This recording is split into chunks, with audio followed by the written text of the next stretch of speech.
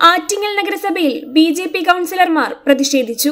ധനകാര്യ കമ്മിറ്റിയെ കൂടാതെയാണ് ബജറ്റ് അവതരിപ്പിച്ചതെന്ന് ആരോപിച്ചാണ് ബി ജെ പി കൌൺസിലർമാർ പ്രതിഷേധിച്ചത്. ധനകാര്യ കമ്മിറ്റിയിലെ ബാക്കി നാലുപേരുണ്ട് അവർക്ക് ഈ ബഡ്ജറ്റ് സംബന്ധിച്ച് യാതൊന്നും അറിയില്ല.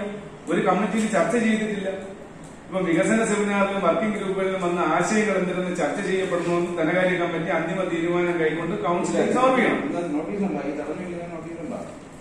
അത് സാർ സാറേ ഞാൻ നമ്മൾ കൗൺസിലേഴ്സ് ആണ്. അല്ലല്ല ഞാൻ ചോദിച്ചു കൗൺസിലേഴ്സ് ആണ് സാറിന്റെ പരി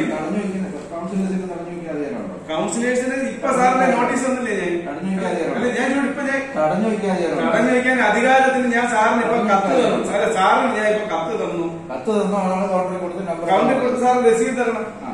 അതല്ലല്ലോ ഇപ്പോഴത്തെ ആവശ്യം. സാറ് ഇപ്പോഴത്തെ ആവശ്യം എന്തോ സാറ് അവിടെ വെച്ച് കൗൺസിൽ ഹാളിൽ ഞാൻ ഞാൻ ഞാൻ പറയണ സാറ് കേട്ടോ. ഇല്ലല്ല ഞാൻ പറയണ സാറ് കേട്ടോ. നോട്ടീസ് തരണം അത്രേ ഉള്ളൂ. സാറ് ഞാൻ പറയണ നോട്ടീസ് തരണം അല്ല ഞാൻ പറയട്ടെ. ഞാൻ പറയുന്നു. നിങ്ങളെ തോന്നിയ പോലെ പറ്റില്ല. നമ്മളെ തോന്നിയവരെ അപ്പൊ സാറിന് തോന്നിയ ദിവസം ചെയ്യാൻ നമുക്ക് തോ- നമുക്കത് നമുക്കത് ചോദിക്കാൻ പാടില്ല. കൗൺസിലർ ഞാൻ ചോദിക്കട്ടെ. സാർ അത് എവിടെയാണ് പറഞ്ഞിരിക്കുന്നത്? ജനാധിപത്യ വ്യവസ്ഥ അനുസരിച്ച് ഞാൻ ചോദിക്കട്ടെ ഞാൻ ചോദിക്കട്ടെ സാറേ. ഞാൻ ചോദിക്കട്ടെ സാറിനോട് നമ്മൾ ഇല്ല, വന്ന് സംസാരിക്കണം അങ്ങോട്ട് കേൾക്ക് ഇല്ല നമ്മൾ വന്ന് സംസാരിക്കണ്ട നമ്മൾ വന്ന് സംസാരിക്കേണ്ട എന്ന് സാർ എങ്ങനെ പറയാൻ സാധിക്കും?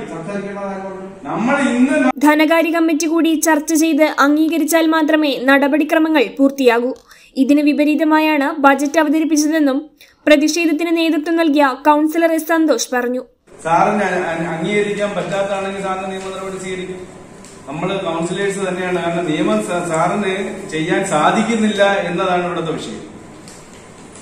ഒരു കൗൺസിൽ യോഗത്തിലെ നടപടിക്രമം എന്താണ്? ധനകാര്യ സ്റ്റാൻഡിംഗ് കമ്മിറ്റിയുടെ നടപടിക്രമം എന്താണ്? ഇതെല്ലാം സ്റ്റാറ്റ്യൂട്ടറിയായി അറിയാവുന്ന ആളും അത് മറ്റുള്ളവർക്ക് ഉപദേശിച്ചു കൊടുക്കേണ്ട ആളുമാണ് സാർ.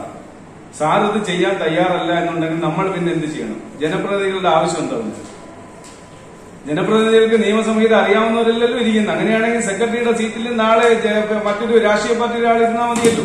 ഔദ്യോഗിക കൃത്യനിർവഹണത്തിൽ സാറിന് മുമ്പ് ഒരുപാട് വീഴ്ചകൾ ഉണ്ടായിരുന്നു അപ്പോഴും ഒക്കെ നമ്മൾ സാറിനോട് സൂചിപ്പിച്ചാൽ ഇത്തരത്തിൽ ചെയ്യാൻ പാടില്ല. നിയമത്തിന് അനുസൃതമായി ചെയ്യണമെന്ന് പലപ്പോഴും പറഞ്ഞു. എന്നാൽ മിനിറ്റ്സ് പരിശോധിച്ചതിൽ കമ്മിറ്റി കൂടിയിട്ടുള്ളതായി വ്യക്തമായെന്ന് നഗരസഭാ സെക്രട്ടറി എസ് വിശ്വനാഥൻ പറഞ്ഞു.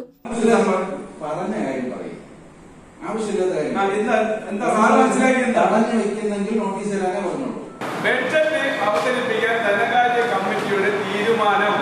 അതിന് അതിന് സാർ അത് വായിക്കണം. H P news Attingal.